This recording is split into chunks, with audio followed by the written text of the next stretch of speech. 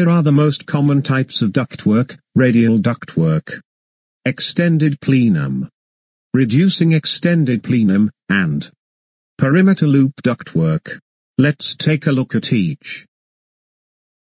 Radial ductwork is designed so that all ducts come together at one point. Think about the spokes of a wheel.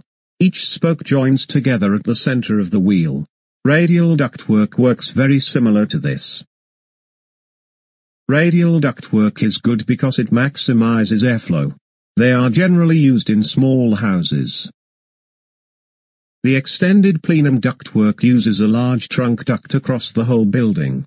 The purpose of this is to have large amounts of air reach different places. This trunk is considered an extension of the plenum. This large trunk stays the same size across the whole building. It has many branches coming out of it throughout its length. This is popular in homes with basements.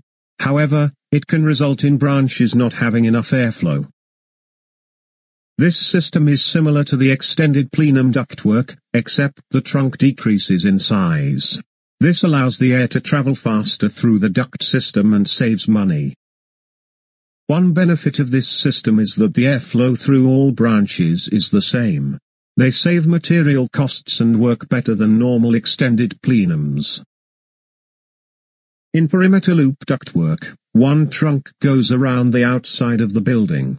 This trunk has branches that point in towards the center of the building. Each branch of this ductwork provides equal air supply. These systems are best used in cold climates.